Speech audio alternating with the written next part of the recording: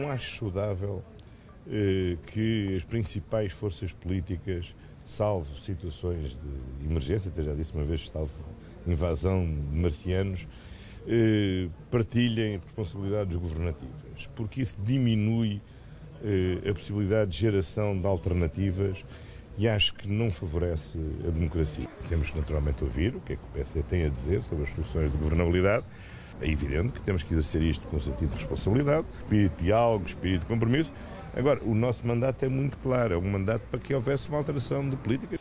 O PS não reconhece esse conceito de arco da governação. Devemos falar com todas as forças políticas, sem exceção. Não posso ser indiferente a registar as declarações eh, que o líder do PCP tem feito sobre esta matéria. Não posso ser eh, ignorar que eh, o Bloco de Esquerda já depois das eleições reafirmou aquilo que tinha dito no debate que tivemos na, na televisão e naturalmente tudo isso são questões que devem ser devidamente ponderadas.